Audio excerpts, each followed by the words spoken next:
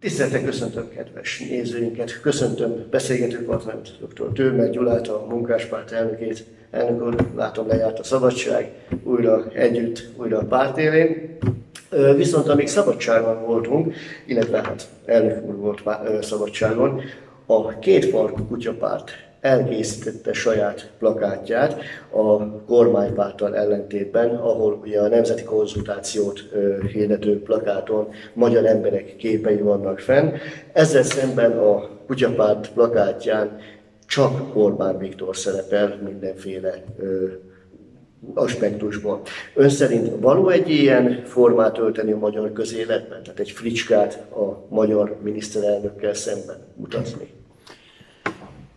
Hát sajnos ezt az eljárásnak csak Magyarországon alkalmazzák egyes politikai erők, hanem ez a nemzetközi tendencia. Hát megpróbálnak viccet csinálni a politikából, az embereket félrevezetni, manipulálni. A politika ugyanis nem vicc. A politika az arról szól, hogy lesznek-e béremelések, lesznek-e áremelések, mennyi a minimálbér, védik a jogainkat, megváltoztatják a szakszervezeti törvényt, lehet sztrájkolni. Ezek az alapvető kérdések. Mennyit költ az ország az egészségügyre, az oktatásra, ezt jelenti a politika. Most erről akarják a figyelmet elvonni az olyan pártok, mint a két kutya pártja, és megfelelően viccet csinálni ebből. A munkáspárt ezzel ellen fellépni, ezt elítéljük, és azt gondolom, hogy ez méltatlan Magyarországhoz, méltatlan a politikai élethez, de legfőképpen árt az embereknek. Hiszen ettől nem lesz több bére az embereknek, ettől nem oldódnak meg az egészségügy, az oktatás problémája, és a társadalom helyzete fog változni. Elég úr, az rendben van, hogy a kutyapárt egy viccpárt. Bár én, ezt, én magam ezt a fogalmat politikában, hogy viccpárt, ezt, ezt nem igazán tudom ö, értelmezni, de ez a párt súlyos milliókat kap támogatásként, pont attól a kormánytól, attól az államtól, akinek a vezetőjét ő kigúnyolja. Tehát nem szülez némi visszásságot? Ha mi lennénk a parlament és mi döntenénk, akkor azt mondanánk, hogy egyetlen párt se kapjon egy fillét se. Vannak támogatóik, vannak tagjaik, ők fizessék meg a pártok működését. A munkáspárt nem kap állami támogatást jelenleg egy fillés, és ettől még létezünk, és, és vannak komoly gondolataink, és bele tudunk szólni az ország politikai életébe. Én azt mondom, hogy ezt kellene mások is csinálni.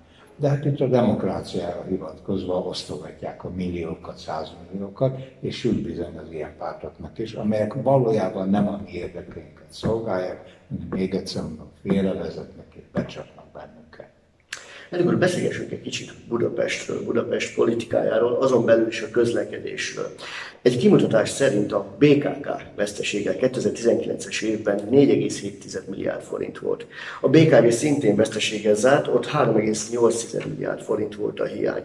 Mindkét cég deficitje a eljegyrendszer miatti veszteség és az alufinanszírozottság miatt volt, ezt írják hozzáértők. A két szám külön-külön is óriási, hát még összeadva. Ön szerint meg lehet ezt, ezt egy ekkora cégnél engedni, hogy, hogy ekkora veszteséggel zárjanak, illetve működjenek? Nekem az az érzésem, hogy itt is átverjük a budapesti embereket. Hát valamennyien közlekedünk, fölülünk a villamosra, a buszra, a metróra, a trollibuszra. Ennek vannak nyilván költségei. Ezeket ki lehet számítani. De nekünk az a határozott véleményünk, hogy a budapesti tömegközlekedés az nem egyszerűen egy fővárosi probléma, az az ország gondja is. Hiszen nagyon sokan utaznak minden részre. Az országnak, a kormánynak, a budapesti közlekedés fenntartásához hozzá kell járulni, és amennyire tudjuk hozzá is járul. Ugye említett, hogy BKK, BKV, én már így sem értem, hogy pontosan miért kell a fővárosnak két céget is fenntartani. Hát korábban a szociális négy évtized alatt is működött a budapesti közlekedési vállalat, amely nyilvánvalóan adminisztratíva alá volt rendelve a fővárosi tanácsnak. Nem kell új szervezeteket létrehozni és költeni drága pénzeket.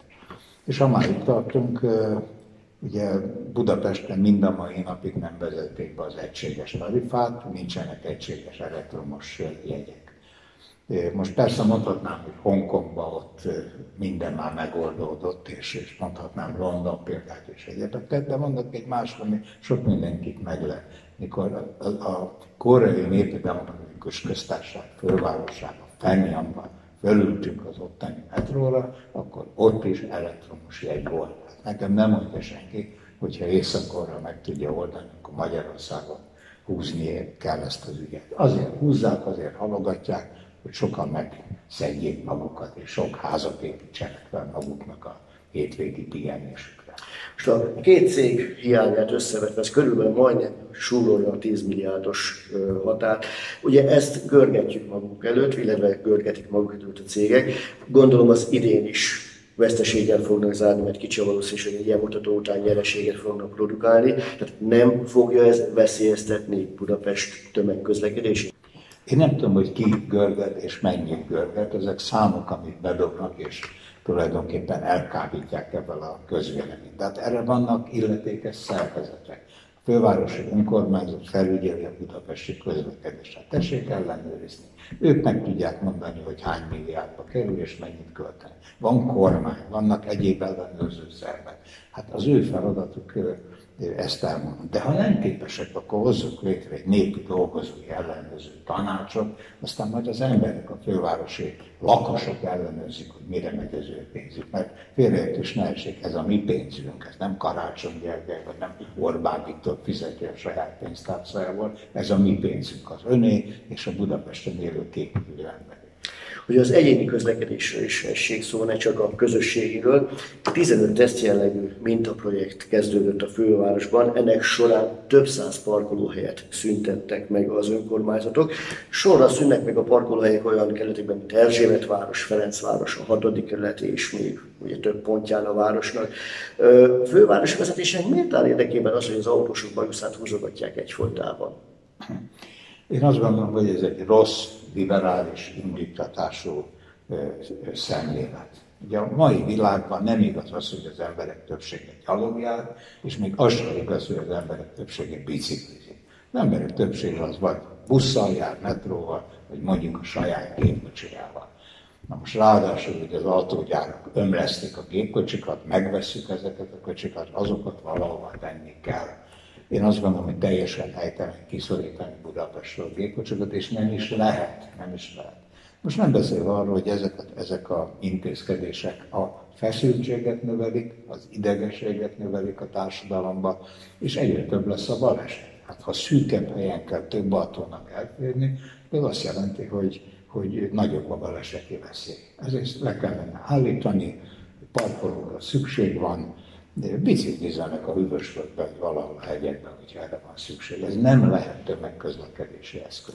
Említette a kerékpárt, elnök úr. A közelmúltban nagykörúton autóztam én magam is, és személyesen tapasztaltam, hogy a parkolóhelyek valóban megszűntek, hiszen abból lett a kerékpársáv. De ez még hagyján hanem egy olyan helyen, mint például a Baros utca nagykörút sarkán, ahol a jobbra kanyaruló sávot behozza mellé, középre kerékpársávot, tehát ergo a védtelen kerékpáros az autó oszlopok között kell, hogy lavírozzon. Ez ugye veszélyes az autósra is, veszélyes még biciklisre is.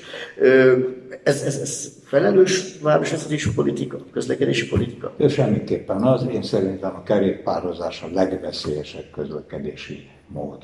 Egyrészt fél a biciklis, másrészt pedig félnek a gépkocsi vezetők. Hát én magam is vezetek, tudom, hogyha ott van a közvetlen közelemben egy kerékpáros, akkor megpróbálok áthúzódni a másik sávot, meg neki mehetek egy másik autónak. Hát senki sem akarja elütni a, a, az embertársát. És ez a veszély megvan. Most nem beszélve azokról a hülyeségekről, amit a nagy körülön is megtettek, hogy ugye buszsávokat, meg biciklisávokat hoznak itt, és ezek kiszorítják igazából az embereket. És egy nagy forgalmú úton, mint a Nagykörút vagy a Baros utca, hogy egy sávban szorítják be a gépkocsikat, ami egy abszolút elfogadhatatlan dolog. De hát egyébként a világ nagyvárosaiban leszámítva mondjuk Amsterdamot, ahol, ahol hagyományai vannak a tömeges kerékpározásnak, azért nem engednek teret Szóval London nézi, vagy Hongkongot nézi, Pekinget, vagy Moszkvát, sehol sem találja azt, hogy egy millió biciklis járja az utakat. Ez egy helytelen politikai döntés, amit vissza kellene vonni. Elnök viszont jó élünk is van, Magyar Posta ZRT megállapodott a szakszervezetekkel, miszerint éves szinten 8% alapbérfejlesztésben részesítik a dolgozókat, természetesen differenciált módon. Ön szerint jó alkut kötöttek a postások?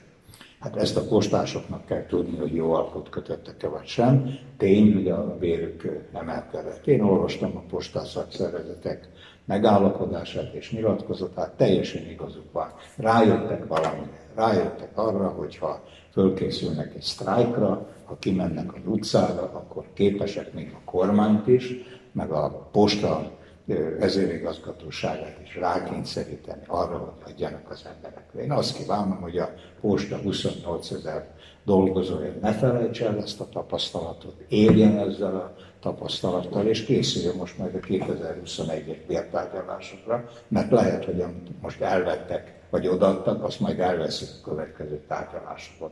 Úgyhogy legyenek éberek, küzdjenek, menjenek az utcára, tartsanak össze, szervezzék magukat, minden 28 évben. Azért azt még megkérdezem, hogy ön szerint a béralkó létrejöttében a szakszervezet ereje, vagy a munkától lojalitása volt a mérvadók dominánsa?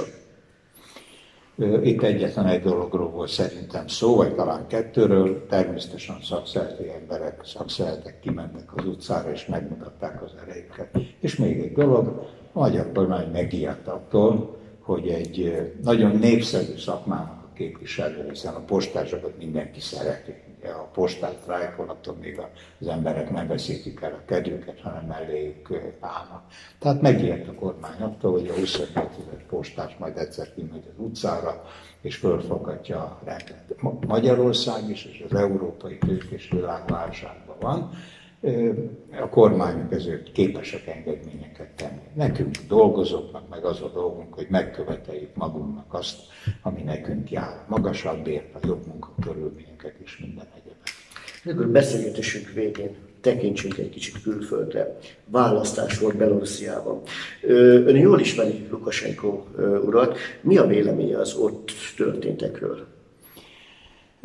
Miről van szó Belarusban? Ugye Belarusban az nem tetszik a liberális ellenzéknek és a nyugati barátaiknak, hogy Belarus egy független ország útján halad most már 24 néhány év óta, amióta Lukasenko elnök vezeti ezt az országot. Én találkoztam vele többször, ismerjük egymást, becsülöm az ő politikáját. Mit becsülök benne? Azt, hogy nem adták el az állami üzemeket, hogy nem adták el a földeket, ami megtermeli Belarusnak a gabonát, az, az élelmiszert és minden egyebet, azt, hogy többet költenek az egészségügyre, mint bárki a környező országokban, hogy le tudták pillanatok alatt olyan szintre vinni a koronavírust, amit az összes többi ország csak irigyelne, hogy a sportot támogatják, hogy ott a fiatalok jól érzik magukat, és egyáltalán stabilitás van az ország.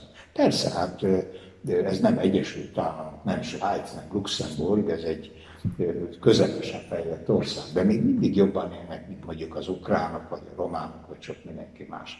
Most a nyugat azt szeretné a liberális ellenfeleik, liberális partnereikkel együtt, hogy na adjuk el a belarusz üzemetet, privatizáljuk, menjen oda a külföldi tőke, a külföldi tőke haszna érvényesüljön, vehessék meg a belarusz földeket, ami jó minőségűek, és övék legyen ez az ország. Lukasenko elnök annak a biztosíték, hogy hogy mindez ne következzék be. Elnök úr, köszönöm szépen, hogy válaszolt kérdésének, köszönöm az interjút.